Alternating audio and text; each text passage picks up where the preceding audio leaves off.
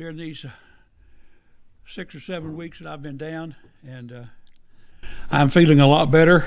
I don't have much strength yet.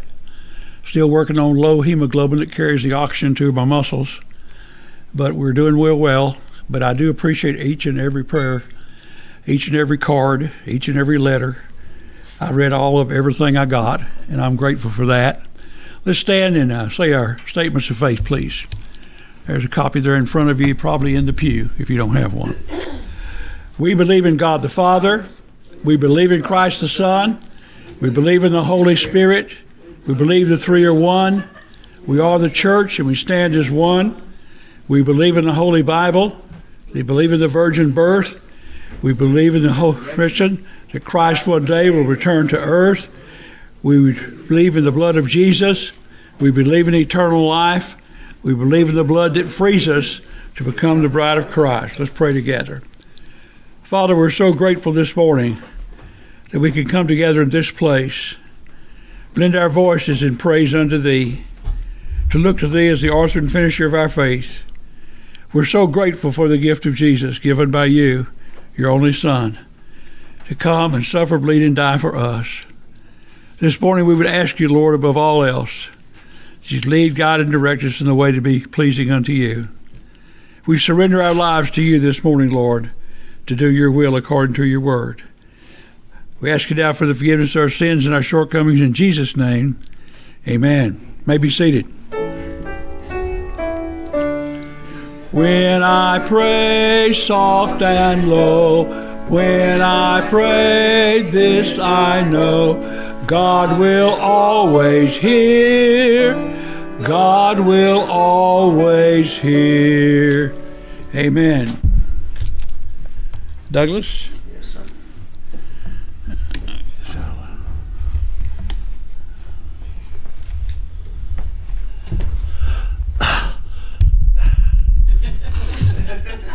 Got short all of a sudden.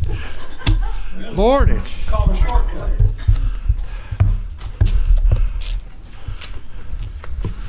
In the spirit of of uh, of you, I sat down the other day when I Yeah. Yeah. Good morning, everybody. Welcome to all those visiting with us today. We are glad to have you. Always, always welcome. Okay, I'll stand up. No, I was just clapping at visitors were here. Huh? I was clapping visitors were here. Oh, okay. It is so good to see this man back today. Okay? So good to see him back today. If you look on the left hand side of your bulletin, I'm assuming you're going to still be preaching out of the greatest words ever spoken. Absolutely. Absolutely. Okay, good. Six o'clock tonight back in the fellowship hall. Encourage all to come be a part of that. Um, we uh, we see the power of prayer sitting on the front row this morning. Okay, it was. Uh, I don't think in all my years I've ever seen him miss. What was it? Three weeks? Four weeks in a row, ever. He missed one when he had to have surgery. Yeah, he had heart surgery. He only missed one week. So, uh, but uh, we are so glad to have you back today. God is good. Okay. So, um, there's not a whole lot looking like on announcements this morning. Is there anything I need to make everybody aware of? There's gonna be business meeting tonight for December. December business meeting will be tonight. Y'all are either a little uh, late or a lot early. We haven't we haven't had the, the December, and, and now it's almost time for January, but we'll do December, and then Wednesday we'll do January. Amen. Which you'll then be into February. And so we'll be on time. Okay. Business meeting tonight at six o'clock, and then Dad will speak after that. Okay. Uh, let's do something this week. Let's every day this week invite one person Amen, to come next Sunday. Amen. Just one. every day this week. The worst thing they can do is say no. But even if they do, you have planted the seed in their mind that I need to go to church Amen. or that somebody cared enough to invite me to church. Okay? One person a week or what? One person a day for the next week. Sound good? Amen. Deal? Deal. Amen. Okay. Let's all take our hymnals now. If you feel like standing, fine. Turn to the pastor's favorite song, number 441.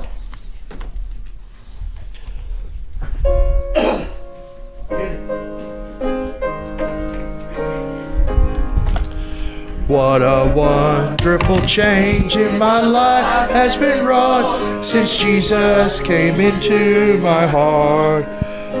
That soul for which long I had sought since Jesus came into my heart. Since Jesus came into my heart. Since Jesus came into my heart.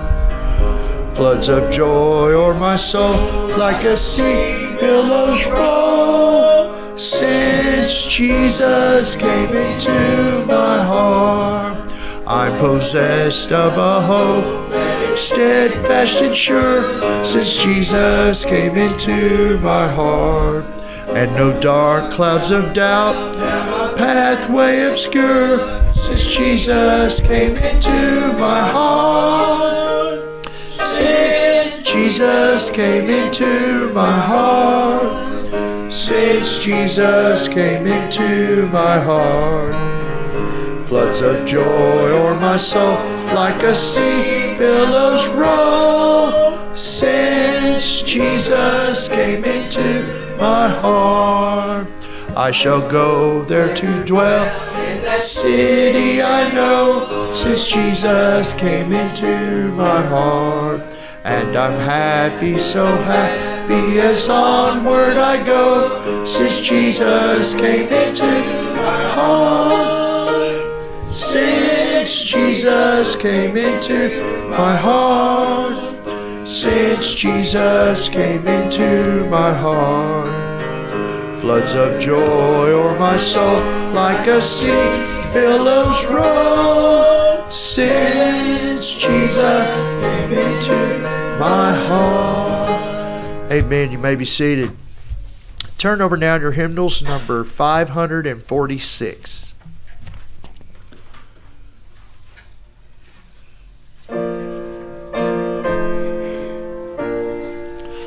I was sinking deep in sin, far from the peaceful shore, very deeply stained within, sinking to rise no more. But the master of the sea heard my despairing cry. From the waters lifted me, now safe am I. Love lifted me, love lifted me. When nothing else could help, love lifted me, love lifted me, love lifted me. When nothing else could help, love lifted me. All my heart to Him I give, ever to Him I'll cling. In His blessed presence live, ever His praises sing. Love so mighty and so true merits my soul's best songs. Faithful, loving service to to Him belongs. Love lifted me, lifted me when nothing else could help. Love lifted me, love lifted me, love lifted me when nothing else could help. Love lifted me. Souls in danger, look above. Jesus who greatly saves. He, your Savior, why the out of the angry waves. He's the master of the sea, billows his will obey. He, your Savior, wants to be, be saved today. Love lifted me. When nothing else could help, love lifted me, love lifted me, love lifted me. When nothing else could help,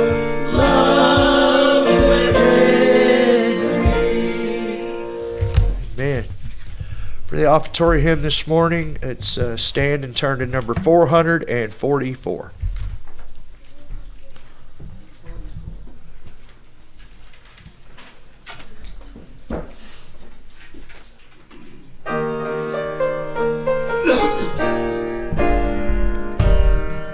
Wandered in the shades of night till Jesus came to me. With the sunlight of his love bid all my darkness flee. Sunlight, sunlight in my soul today. Sunlight, sunlight all along the way. Since the Savior found me, took away my sin. I have had the sunlight of his love within. Though clouds may gather in the sky and billows round me roll, however dark the world may be, sunlight in my soul. Sunlight, sunlight in my soul today. Sunlight, sunlight all along the way. Since the Savior found me, took away my sin. I have had the sunlight of his love within. Soon I shall see him as he is, the light that came to me. Behold the brightness of his faith throughout eternity. Sunlight, sunlight in my soul today. Sunlight, sunlight all along the way. Since the Savior found me, took away my sin. I have had the sunlight of his love within.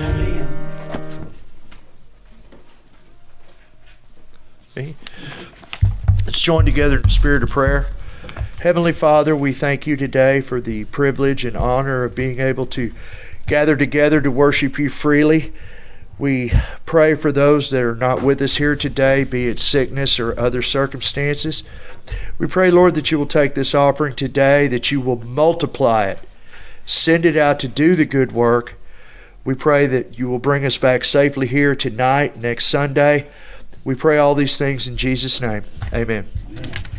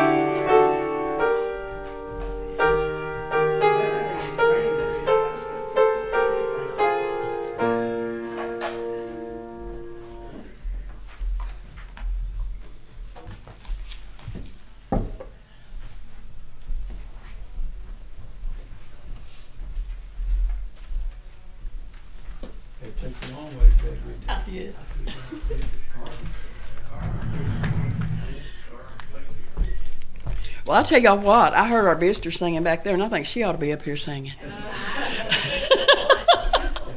yeah, that's great. We're sure glad to have y'all with us today, all of you. That's wonderful. I tell you, it's been a few weeks. Uh, we've uh, went through COVID. The whole church had it, and now we're over it. Uh, we went through. Um, Give you enough line. Oh, that's all right. You give me too much rope, I'll hang myself. we've we've had our pastor out for a long time, and I just tell you, when you when your leader is absent, you can't. I don't know about y'all, but I found myself wondering which path to take sometimes. I mean, I, the Holy Spirit tells me where to go, but He tells me how to get there. so I'm just glad to see him back. And Patsy and Corny, it's good to see y'all back and well and healthy. James and Pauline, all of you, Steve everybody. We, we just, Sue, it's always good to see you. You, you kind of staple. You're like flour in a cake batter, you know. You hold it all together. what are you doing, Douglas? Be nice to me, or I'll get up there preaching. Oh well, I'm gonna sing now. Y'all, I'm not a I'm not a singer, but I'm gonna tell you what, my heart's full of the Lord. Uh, I, I remember when I didn't have Him, and if you ever forget that, you're in trouble. In trouble. So all those bad memories, they're not bad memories; they're life's lessons. So don't don't ever don't ever forget them. Don't ever forget them. We don't have to pay for them after they're paid for, and Jesus did that. And as long as we accept that, we're done. You know, we're we're in we're in the door. But but I'll never forget how I felt. If I just don't ever want to forget that lost feeling, you know, because then the saved feeling is so much greater. You know, it's just so much greater. So. I'm gonna, I'm gonna try this. My voice ain't very good today, but my husband told me to do it. So, you know, he's the boss at my house. when I let him.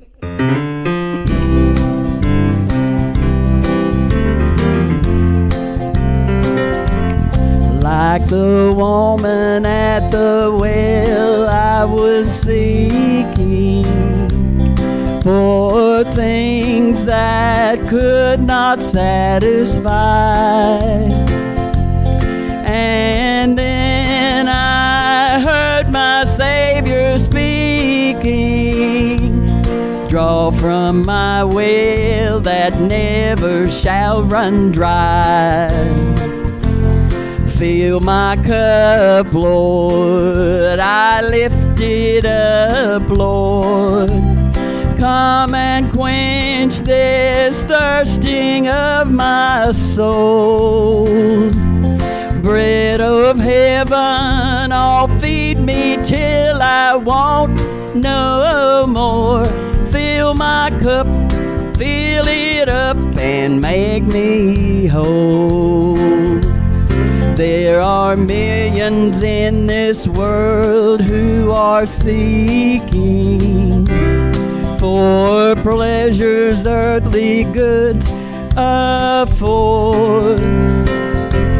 Oh, but none can match the wondrous treasure that I found in Jesus Christ, my Lord. Y'all sing it. So fill my cup, Lord. Oh, lift it up, Lord. Come and quench this thirsting of my soul. Bread of heaven, oh, feed me till I want no more. Fill my cup, fill it up, and make me whole. So, my brother, if the things this world gives you leave hunger that just won't pass away.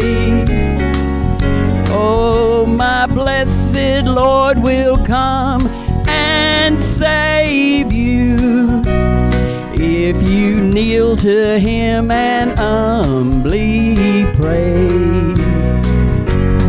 Fill my cup, Lord. always lift it up, Lord. Come and quench this thirsting in my soul.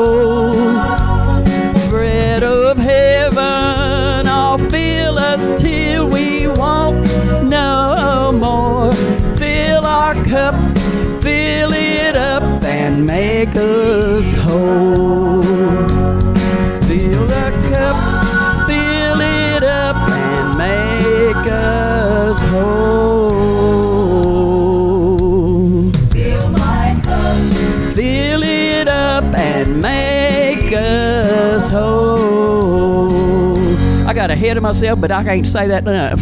We're gonna sing it three times.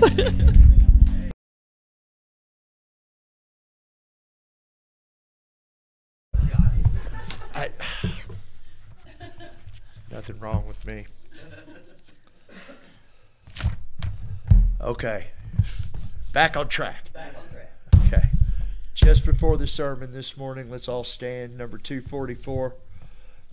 this morning silent prayer that we will fill this house to overflowing before this year is over.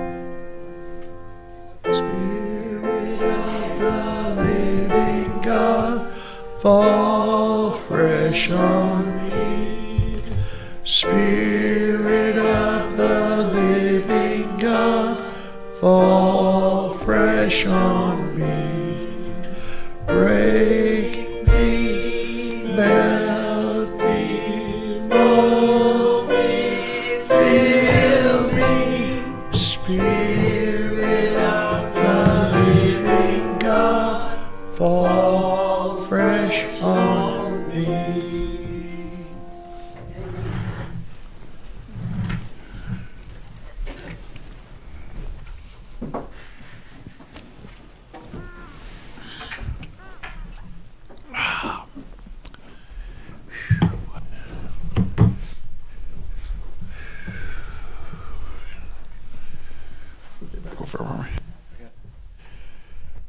Good morning, everyone.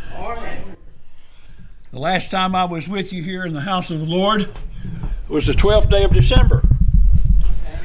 And uh, I got sick that night and uh, continued to be sick for several weeks. I've been in the hospital 10 days. I don't recommend that. Uh, but uh, it was, uh, I got good care. Uh, it took them a long time to figure out what was wrong with me. Uh, Good. Actually, I'd, I'd like it a little closer, but I couldn't get it to roll. Thank you. There we go. That's the first step of assisted living. Uh, this morning, I'd like to ask you to take your Bible and join me in the book of Genesis, chapter 37. Genesis, chapter 37. Now, we're not going to read all of that. I just want to have a starting point for us to understand the story. This morning, I'm going to talk and speak with you from God's Word about one of the most dangerous sins that we can become involved in. It's called ego. Amen. Ego.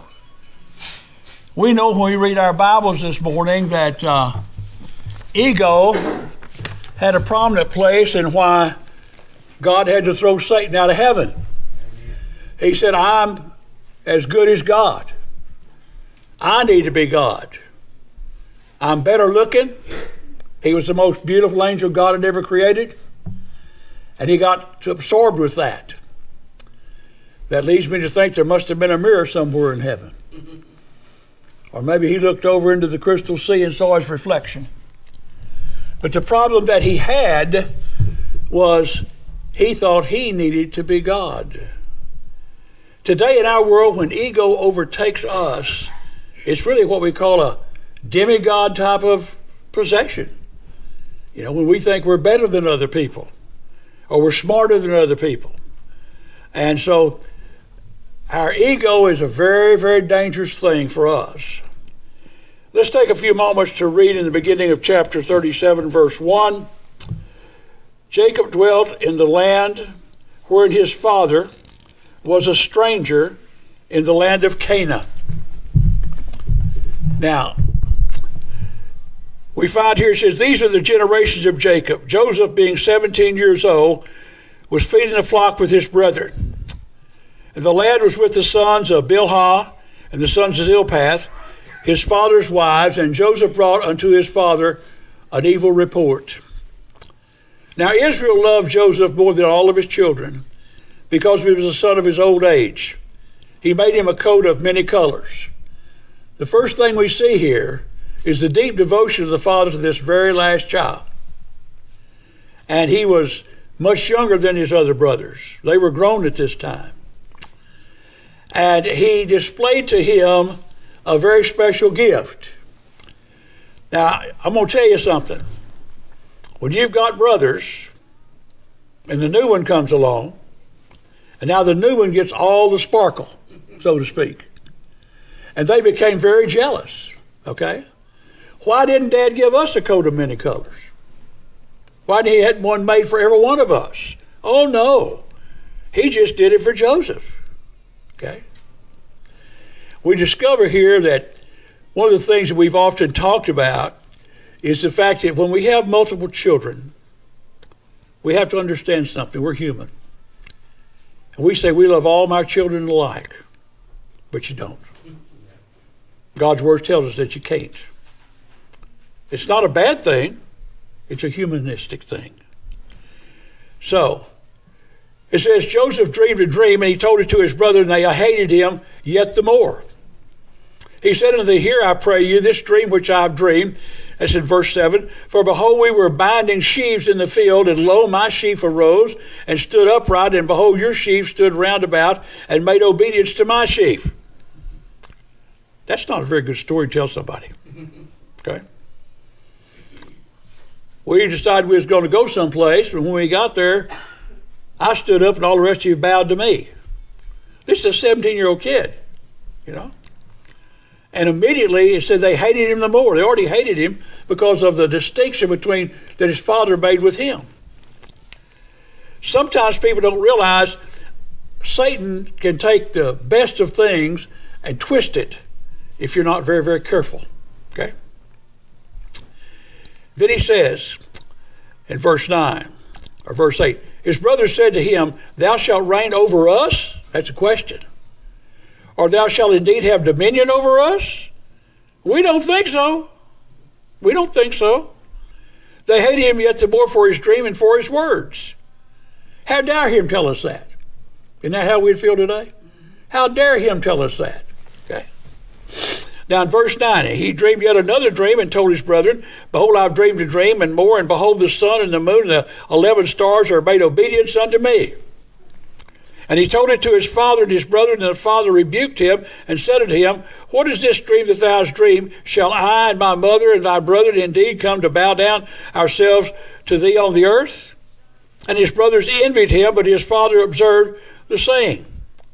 Now, these guys have decided to get rid of Joseph. Y'all know the story. And so they take Joseph with them into the field to tend the sheep, and they dig a pit and they strip him of all of his things, his clothes, and put him in the pit. They're sitting around there talking about that, you know. And uh, then they begin to think about some things. Let's look at verse 24 of that 37th chapter. And they took him and cast him into a pit, and the pit was empty, and there was no water in it. And they sat down to eat bread and lifted up their eyes and looked, and behold, a company of Ishmaelites came from Gilead with their camels bearing spicery, balm, myrrh, going to carry it down to Egypt. And Judah said to his brothers, What profit is if we slay our brother and conceal his blood? They're going to hide the fact they've killed their, their brother. He's come, let us sell him to the Ishmaelites. Now, what's he saying? Killing him will mean put nothing in their pocket, but if we do this, we'll get something. So, let us sell him to the Ishmaelites, and let not our hand be upon him, for he is our brother and our flesh. And his brothers were content. In verse 28, it says, They sold Joseph to the Ishmaelites for 20 pieces of silver, and they brought him unto Egypt. Now, they take the coat of many colors. They kill a young goat, soak it in blood. They take it back to their father, and here's what they say to him. You know?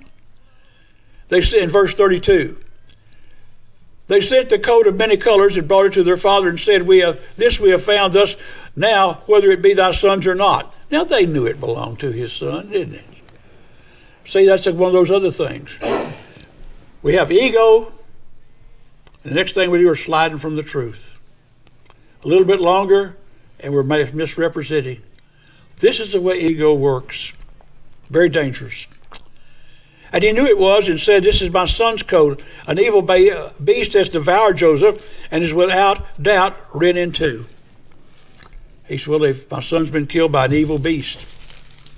Now I want you to turn over a few pages with me, if you would please, to verse 39. Joseph went down, was brought down to Egypt, and Potiphar, an officer of the Pharaoh, captain of the guard, an Egyptian, bought him of the hands of the Ishmaelites, which had brought him down hither. The Lord was with Joseph. No, don't forget that verse. The Lord was with Joseph. Let me tell you something this morning. If you're here today and you're a believer in Jesus Christ as your personal Lord and Savior, the Lord is with you. You can never do anything without His knowledge or without His presence. I guess one of the most frightening things we have to deal with is the fact, according to Scripture, wherever we go, 24 hours a day, if we're a believer, we take Jesus with us. Amen. Okay? A few years ago, a popular little wristband a lot of people wore said, What would Jesus do? Okay? Well, there's a better wristband than that. I'm with you always. I'm with you always. We can't go any place without Jesus. I don't care where you go. You're not separated from Jesus. So if we're not separated from Jesus, okay, then whatever we do involves Jesus. And it becomes a stench in his life, you know. The Bible said on our best day, we don't even smell good to God. Can you imagine what it's like when we're not in active sin? So, here in this uh, 39th chapter, the Lord was with Joseph. He was a prosperous man. Now, the Bible said he was prosperous. He was a slave and just got sold. Most people say a slave is not very prosperous. He was prosperous. His prosperity was inside him with his relationship with the Lord. Our prosperity today is the very same way. Many times you've heard me say to you through the years, our God is as large in our life as we allow Him to be, or as small as we make Him. You see? I talked to a man one time, and he said, Well, I've been out of church a long time. I said, I haven't walked with the Lord in a long time. I said, No, you've walked with the Lord every day. Amen. You just hadn't thought, realized the fact He was still with you. What does God say when we come Him by faith in Jesus Christ? I'll never leave you and I'll never forsake you. Amen. So you may walk away from God today, but if you've walked away, you can always come back because you come back with Him. When you walk away, He's there with you. When you start back, He's there with you. We cannot separate ourselves from our Lord Jesus Christ. Now, go down to verse 4 or verse 3. The master saw the Lord was with him and that the Lord had made all that he did to prosper in his hand. Joseph found grace in the sight of Potiphar. He served him and made him overseer of all of his house, and all that he put had he put into his hands. Now, go down to verse 7 because of time. Okay? It came to pass after these things that the master's wife cast her eyes upon Joseph and said to Joseph, Come to bed with me. Okay? But he refused. He refused because he knew God wouldn't bless that. He refused because he knew that was wrong. He knew that was something he did not have control over. Now, I want you to go down just a little further with me there. Verse 8. He refused and said unto the master's wife, Behold, my master willeth not what is with me in this house, and he hath committed all that he has into my hand. There's none greater than the house that I am. Neither hath he kept back anything from me but you. You. Everything else was under his control. Then he says, Because thou art his wife, how can I do this great wickedness and sin against God? It's something we don't often think about. Every sin we sin is against God. Amen. And we need to realize that. If we go out and rob somebody, we've sinned against God. If we go out and take something that's not ours, we sin against God. If we step across what God's told us to do, we sin against God. This is the problem. Now, we're going to discover here, go down to verse 20 of chapter 39. Joseph's master took him and put him into the prison, a place where the king's prisoners were bound. And he was there in the prison. But the Lord was with Joseph. Now, if you learn nothing else this morning as a believer, you need to know this. When you leave this service and throughout all the rest of your days as a believer, God will never leave you. Amen. God will never leave you. And so he was put in prison and he was bound, but verse 21 says the Lord was with Joseph. He showed him mercy, gave him favor in the sight of the keeper of the prison, and pretty soon he's run into prison. Now, verse 23 of verse chapter 39 says, The keeper of the prison looked to not anything that was under his hand, because the Lord was with him, and that which he did, the Lord made it to prosper. Everything Joseph touched turned to prosper, it was prosperity. See? Now you say, wait a minute. How can this be God? His brothers lie that, they, that he's been killed by a beast and sell him into slavery. He arrives in Egypt. He's bought by an officer of the court and put in charge of his house. He's falsely accused by the wife. He goes to prison. He's there 12 years. And he didn't do anything. He fled from the sin. A lot of times people don't realize something. Many times sin is something that happens when you get too close. And he fled from it. And when he was questioned, he did he defended himself, said, I did nothing. She said he did, but he didn't. He gets 12 years in prison. He's in the prison not very long until suddenly the word of how he had run Potiphar's house comes to the prison warden. And so he puts him in charge. And the prison begins to prosper. He probably got everything under control, the budget, and he got this done. All these things because God was with him. Okay? Now let's go to chapter uh, 41, please. We'll go to verse 25. Joseph said unto Pharaoh, the Pharaoh, Pharaoh's had a dream and he don't know nothing about it. He says, what am I going to do? And they said, well, Joseph is in prison, but he knows all about these things. So they bring him from the prison and into the presence of Pharaoh. And uh, Joseph said to Pharaoh, The dream of the Pharaoh is one. God showed Pharaoh what he is about to do. Now remember something God has a plan for your life. Amen. And God expects us to accept that plan and to move forward with it. And so he said, Pharaoh, I know about your dream, but the most important thing is God is showing you what he is about to do. Then he tells him about this dream. Seven good kind are seven years, and the seven good ears of corn that you saw are seven great years, and the dream is one. You're going to have seven years of great prosperity. And the king, Pharaoh said, well, that sounds good. Then Joseph continues. And the, in verse 27, the seven thin and ill favored years that came up before after them are seven years, and the seven empty years, those empty corn ears, blasted with the east wind, shall be seven years of famine. This is the thing which I have spoken to Pharaoh. What God is about to do, he shows to Pharaoh. Behold, there come seven years of great plenty throughout all the land of Egypt, and there shall arise after them seven years of great famine. Now, I wanted to speak to you ladies for just a moment, if I may.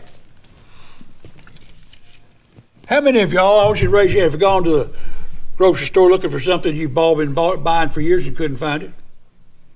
Yeah. We're kind of in famine, aren't we? You know?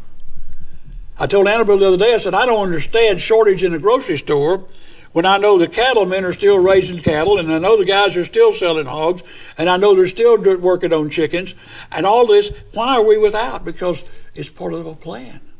Amen. It's part of God's plan. See? Now, we haven't missed meals. We've just had to eat something else, you know. And uh, the other morning, I even had some oatmeal. I'm not a terrible fan of oatmeal, but it wasn't bad, you know. But we're having to change a few things. But remember, God is going to show the way. Remember, God is in control. Remember, God knows what He's doing. Amen. Amen.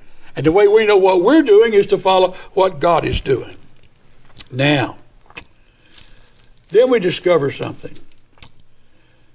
So Pharaoh says in verse 38 of the 41st chapter of the book of Genesis, Pharaoh said to his servants, Can we find such a one as this? That is, can we find one such as this is, a man in whom, and it's capitalized, the Holy Spirit of God is? He's not a believer. He's an atheist. He worships the ten gods of Egypt. And he worked on that every day. But he said, This guy's different. Okay? This is what we have to teach our world today. Amen. The Christian is different. Now, we don't look different on the outside. And the Bible says man looks on the outer appearance, God looks upon the heart. Okay? But you are different. You have a mission. You have a life to be lived that honors and uplifts the Lord. Do you, how much do you think that of all the good things that Joseph had already did and that they already knew about, all of that coming together for one thing? The famine is not just in Egypt, it's all over that part of the country. Okay? His brothers decide, at their father's urging, to go into Egypt and buy grain that they needed to survive on. Okay? And when they get there, they don't recognize Joseph. They get the grain, they come back, they talk about the family. And Joseph says, Where's this little one you talk about? Well, he's back with father. Is he back with father? No. He's draped in the ro- robe of, a, of the Pharaoh of Egypt. They don't know that, you know. Yeah. Now, I want you to look at chapter 42, verse 8. Joseph knew his brother, but they knew him not. He recognized them.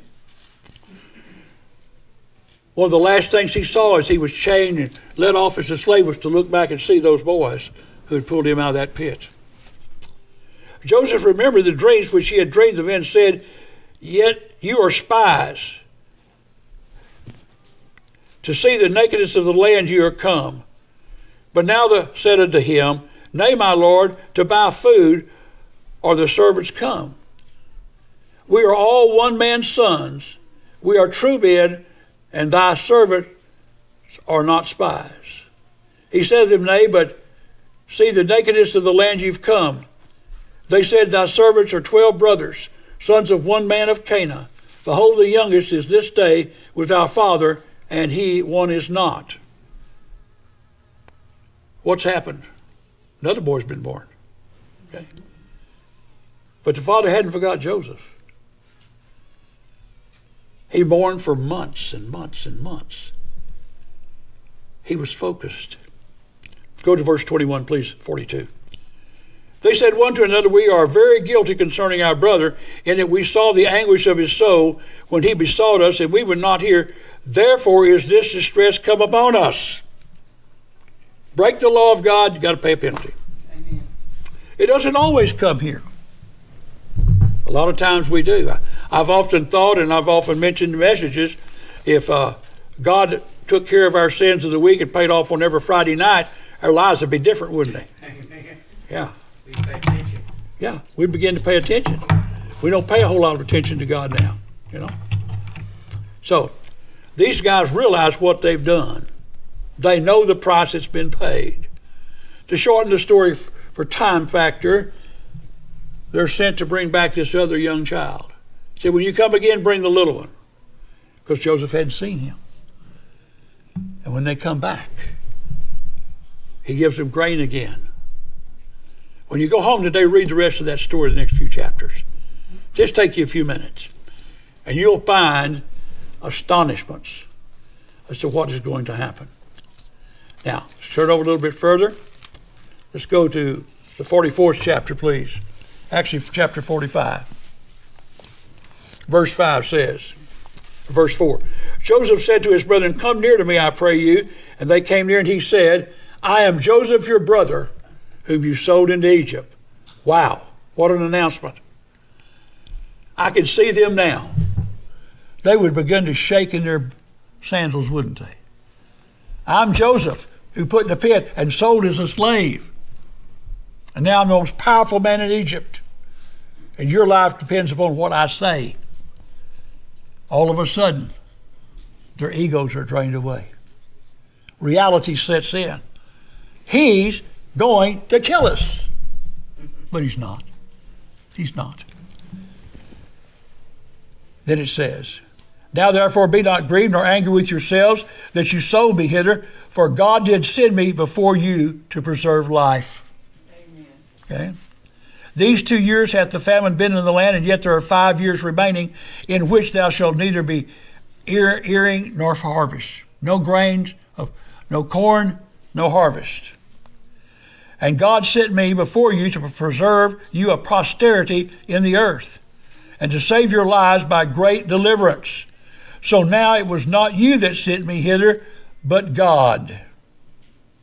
Now, each morning when you get up, I'm going to try to go back to the office in the morning for a few hours. I haven't been there since um, 12, 10, 11, since the 9th of December. But when I'm going to go in there with the intention of accomplishment. I'm going to go there with the intention of catching up my records. I'm going to go there with the intention of getting all the things I need back in place that I take care of at the business uh, each day. But I don't know how that's going to go just yet. I told my owner the other day, I said, I'm going to try to come and make the morning. If I feel good, I'll play the afternoon. If I feel like I think I'll feel, I may go home. He said, That's fine. Do what you need to do. Very gracious for me about that. Now, go down to verse 11, chapter 45. There will I, Joseph, nourish you, for yet there are five years of famine lest thou and thy household and all that thou hast come to poverty. God, what you meant, did to me, God meant it for good. Amen. See, we don't know about that.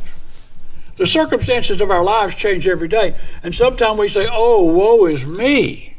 Before you do that next time, ask yourself this question I wonder what God is fixing to do in my life. I wonder what, how God's going to use me. I wonder what God's going to set before me that I can do and perform and meet His will. Now, I want you to look at the book of Nehemiah prophecy. I want to go to chapter 8. We'll pick up in verse 8 of that chapter. So they read in the book of the law of God distinctly and gave sense and caused them to understand the reading. You know, every time you open up your Bible, before you begin, you should ask God for understanding. Lord, help me to understand this passage as you would have it apply to me today. Okay? If you go down to verse 10, it says, Then he said unto them, Go your way, eat the fat, drink the sweet, send portions unto them for whom nothing is prepared. you got to learn to share. For this day is holy unto the Lord our God. Neither be you sorry, for the joy of the Lord is your strength. And as a believer this morning, if you don't take that verse to heart, you're missing a lot of, of the message. The joy of the Lord is our strength. Okay? When Christ died upon the cross, we'll talk about that in just a moment, he suffered, bled, and died to pay our price before God. It's the price of our sins. God will accept only one thing to pay for your sins the blood of Jesus. But you have to believe in Him to have that experience. See? There's nothing like the blood of Jesus. It cleanses the most vile of all sinners. Many people say, well, I've had well, Brother Doug, I've never done anything really bad in my life. Okay? And my answer to that, well, do you know Jesus as your Savior? Well, I haven't got that done, but that's not something bad. That'd be something good. I've, I've, I've done good things. And they probably have. Let me tell you something. The jacket I'm wearing is black, right here. Our sins are black before God. Before we get too far, let's acknowledge the fact that there's such thing as a white lie. I hear people say it all the day. Well, last week I told a little white lie. Lies are not white, they're black because they're sinful. The truth must be accepted by us before God and acted upon before God. So he says to this The joy of the Lord is your strength. Now, if you go to chapter 9, verse 6, same Nehemiah, thou, even thou, art Lord alone. There's no one like our Lord. Thou hast made the heavens and the heaven of heavens with all their host in the earth and all the things that are within the sea and all that is therein, and thou hast preserved them all, and the host of heaven worship thee. He's creator and the majesty of Almighty. Now, thou art the Lord God who did choose Abram and brought him forth out of the Ur of the Chaldees and gave him the name of Abraham. Thou found his heart faithful before thee and made a covenant with Abram to give the land of the Canaanites, the Hittites, the Amorites, the Perizzites, the Jebusites, the Gershurites, to give it. I say to his seed, Thou hast performed thy words, for thou art righteous. This and didst see the affliction of our fathers in Egypt, and heardest their cry by the Red Sea. God's people were in Egyptian bondage 412 years. Every day they prayed for one thing send us a deliverer. We want to go home. Well, according to Scripture this morning, it takes them 2,500 years to get a home again. In May 1948, United Nations conferred the fact that Israel would become a nation again and gave them the land in which they live today. That's 2,500 years. That's a long time, isn't it? See, most of us get upset with God if we pray on Monday and don't get something by Tuesday. You know? I asked God for such and such, and it's been two days. What's going on? Well, you've got to remember something. God answers prayer in one of three ways. He may give you what you want, but He's most likely going to give you what you need, and He's going to do it on His timetable. Amen. And I don't want to surprise anybody today, but God's timetable is not like our timetable. You know, it's not. We have no indication He ever sleeps. We have no indi- indication there's ever a time when you can't reach Him by prayer. Now, you go to telephone, you call dial a prayer, you may get a busy signal. You won't get that with the Lord Jesus Christ. Amen. See? When you call upon Him in prayer, folks, He'll be there. And He will listen. And He'll send that answer. And then the third one may be the answer of waiting. I don't like the third one. Do y'all like the third one? No. But it's necessary. How would Joseph have known when they put him in the pit that he'd be the leader of Egypt. How did he know when he was sold to the Ishmaelites, the slave traders that sold him in Egypt? How did he know then that he could save all of his people, his family, down the road? See, we don't know what's down the road. Okay? We don't know. It's kind of like the two men that there's a Baptist church on one side of the road and a Methodist church on the other side of the road. The pastor's real good pastor, good friends, and they Beachwood put out a great big sign in the front of their church, it said, and they stood by that sign. He said, You need to stop and trust the Lord down. Well, of course, the cars just zip by, zip by, zip by. And finally, one of them said, I, Maybe we need to change our sign. And the guy said, Well, what are we going to put on it? Bridge out ahead. See? See, sometimes we don't think there's anything out there, but you can be helped by just listening to what God says. Now, Look at verse 12 of, of the ninth chapter of Nehemiah. Moreover, thou leadest them in that day by a cloudy pillar, and by night a pillar of fire to give them light in the way wherein they should go. See? Once they've come across that Red Sea, that, by the way, God dried the seabed. Y'all know how long that would take under normal conditions? Uh-huh. Even we, remember when we pumped out the Waterloo Lake over here? It was months and months and months and months and months before you could walk out there because it was so deep in, in the wet silt. God just dried it just like that. Just like that. Okay? And they came across wagons and carts and stock and flocks and herds and about two million people. When they got on the other side, God said, Got a new program. Today, You don't move till the cloud moves. And tonight there'll be a pillar of fire. Let you know I'm still there, I'm still there, and I'm still watching. Okay? That is important for us tonight to understand that. Now I want you to take your Bible and go to our New Testament for just a moment as we close. Got just a few moments. I want you to go to the book of Mark, chapter 14. And we're going to begin in verse 22. Now, the Bible says, I'll back up to 21. The Son of Man, that's Jesus Christ, indeed goeth as it is written of him. But woe to that man by whom the Son of Man is betrayed. That's Judas. Good it were for that man if he had never been born. Okay. Now they're eating the Last Supper. Verse 22. As they did eat, Jesus took bread, blessed and brake it, and gave it to them, saying, Take and eat, this is my body. And he took the cup, and when he had given thanks, he gave it to them, and they all drank of it. And he said to them, This is my blood of the New Testament. Now, why does he say New Testament? The old law is fixing to go away. Okay? And we're going to have a New Testament. A New Testament is the blood of Christ and grace. He said to them, This is the blood of the New Testament which is shed for many. That's each one who will believe. Verily I say unto you, I will not drink no more the fruit of the vine until the day I drink it in the new kingdom of God. That'll be heaven. When they had sung a song, they went out unto the Mount of Olives, and Jesus said to them, All of you shall be offended because of me this night. Now, that projection of what's going to happen later has become timely. Tonight, he says, you will be challenged because of me. So then Jesus says, and they went into the Mount of Olives.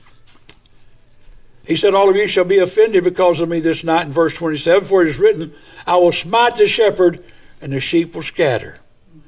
After I am risen, I will go before you into Galilee. That's a really important verse.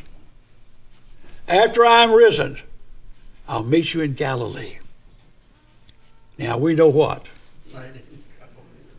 After the crucifixion, after the tomb is sealed, after they find the tomb open, and the women report their body is gone, and they go back to tell the disciples, they beat on the door, let us in. We have a great message. They said, Christ is gone. And they said, well, perhaps he was stolen away. They didn't remember this little verse over here, verse 28. I will rise again, and I'll meet you in Galilee. Outside the tomb, there was not one disciple sitting waiting for resurrection. Not a one. None of them showed up on that morning later to see what was happening until they ran to the sepulchre and entered in and found not the body of the Lord Jesus. And then it took what? It took an, two angels to tell these women, to tell these disciples, you'll find him in Galilee just like he said. Amen. Now, everything the Lord Jesus Christ has ever told us will be just like he said. Amen. Okay? So we discover something. I want you to look over in Luke chapter 22. That'll be our last scriptural reference this morning.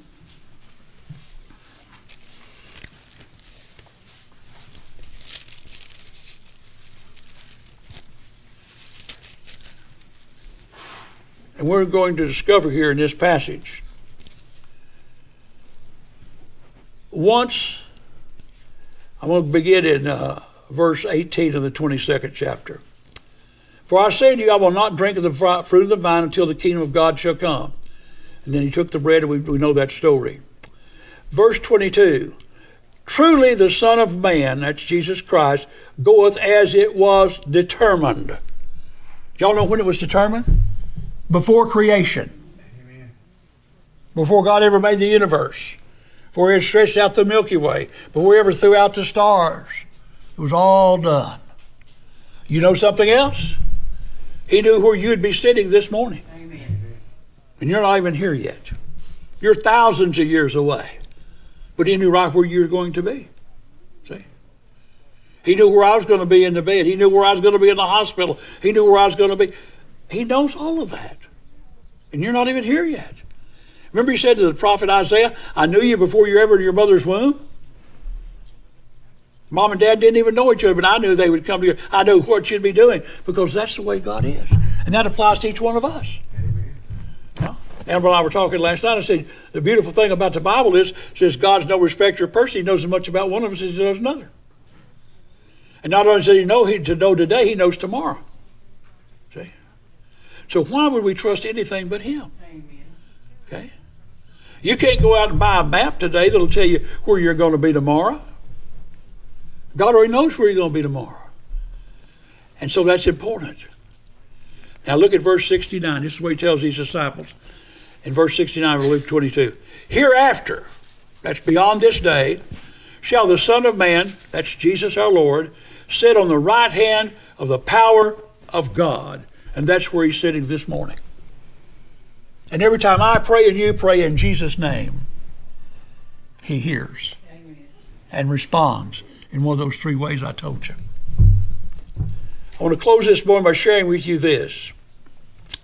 So many times we fail to understand our daily condition. I apologize. I said last reference. I got one more and I will be through. Acts uh, chapter 7, verse 51. Stephen is with a group of people and he's preaching the story of Jesus. And here's what he says in that 51st verse Ye, the, the crowd, are stiff necked and uncircumcised in heart and in ears. Your ears are covered, your heart is covered, and you're stiff necked. You won't humble yourself before God. You do always resist the Holy Spirit, as your fathers did, so do you. Which of the prophets have not your fathers persecuted, and they have slain them which showed before the coming of the just one, that's Jesus Christ, of whom you have now been the betrayers and murderers, who have received the law by the dispensation of angels and have not kept it. So, what does God expect us to do? He expects us to listen to Jesus, trust Jesus, become obedient to Jesus, let our lives be directed by the Word of God. In this book, you will always find how much God loves you. Amen. If He didn't love us, He wouldn't look after us. If he didn't love Joseph, he wouldn't have protected him. He wouldn't have blessed him. And we have to realize this morning our humility of humbling ourselves before the Lord is the most important thing we can do. You know?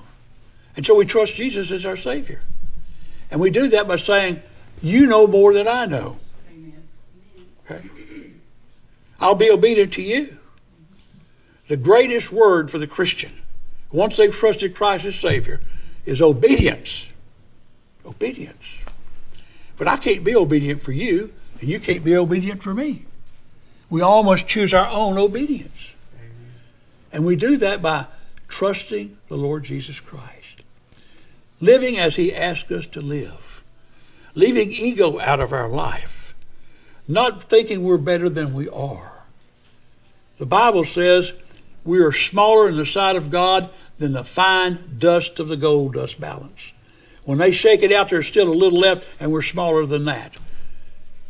But we're at the essence of his heart. The Bible says our names are graven upon his hands. Okay? That's not a tattoo, that's graven. That's cut into the flesh. How can he forget you when you're right here? How can we fear when we're in the hand of the Father? secured by the hand of the Son. We trust Jesus. No man comes to the Father but by me, Jesus said. Once you trust Jesus, you have an alliance with the Father. Amen.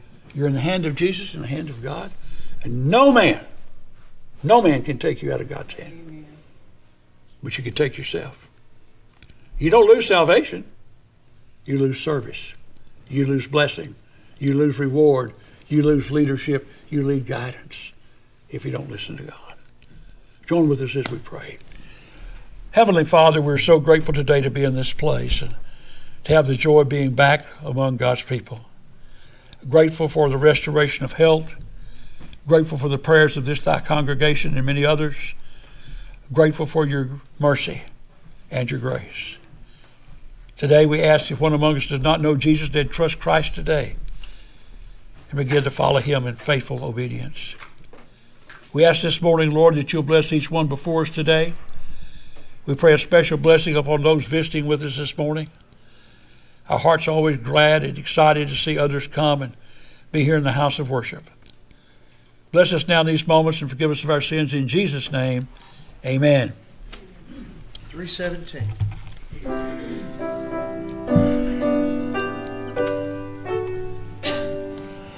For Jesus said, the sin oppressed, there's mercy with the Lord, and he will surely give you rest by trusting in his word.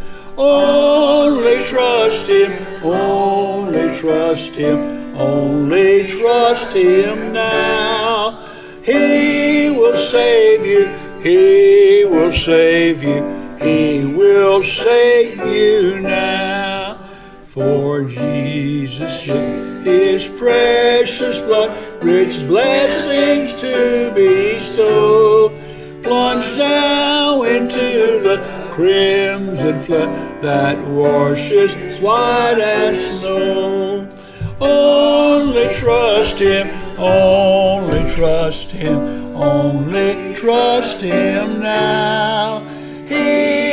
Save you, he will save you, he will save you now.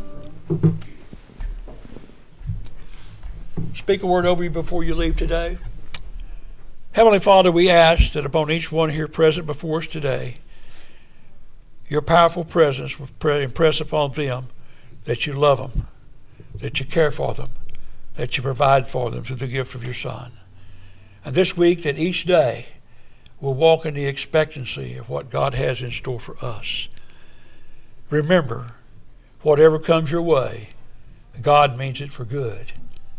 Stay the course, be faithful, and let God work in your life.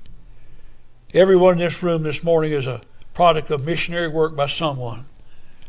Someone prayed for you, someone instructed you, someone shared the word with you, someone gave that there could be a place for a voice of coming. And we ask this morning as you go from this place that you'll rejoice in the good message and the good news and the faithfulness of our Savior Jesus Christ, in whose name we ask and pray. Amen. Thank you, Lord, for saving my soul. Thank you, Lord, for making me whole. Thank you, Lord, for giving to me thy great salvation so rich and free. Amen. See you tonight for Bible study.